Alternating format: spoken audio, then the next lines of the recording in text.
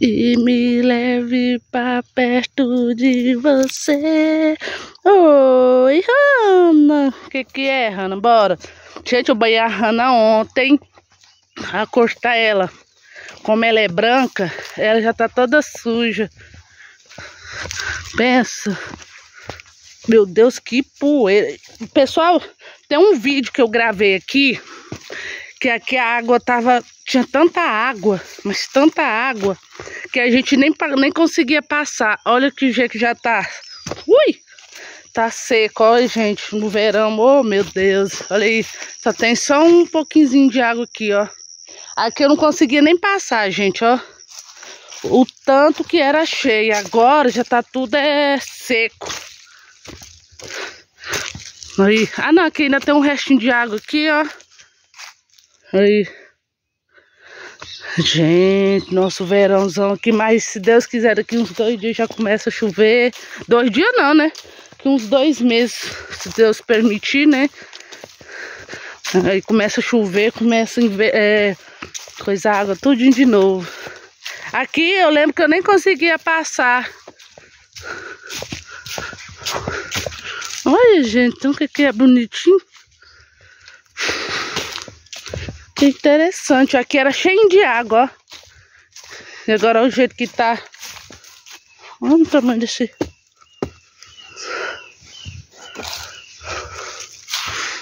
Hum, tá. Aqui tem uns arame aqui, ó. Não sei. Gente, é, deixa eu contar uma história pra vocês da última. Não é história, não. Da última vez que eu andei no mato, não foi aqui. É, Gente, por sorte, quase que eu ia pisando uma jararaca, pessoal. Né, quando eu vi, eu levei um susto, um susto. Não é? Nossa, eu fiquei tremendo, ó, quase que eu ia pisando em cima dela. Eu não sei se a jararaca... Ui! Eu não sei se a jararaca tem veneno, né? Mas foi por pouco, ó. Sorte minha que eu tava de bota. Olha aqui, gente, onde que eu vou sair. Ah, é só que eu encontrei. Eu fui andando nesse trieirão, vim aqui, ó.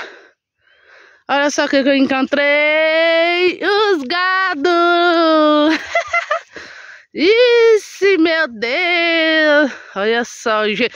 Olha que esses gados são... Eles são, eles são engraçados, ó. Tudo querendo correr. Pois é, aqui tá ali, tá os meus cachorros. Pensando bem. Eu gosto mesmo de você.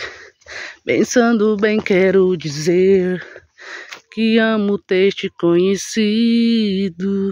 Nada melhor que eu deixar você saber. Pois é tão triste esconder um sentimento tão bonito.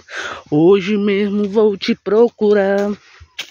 Ai, gente do céu, aqui dando uma, uma cantada.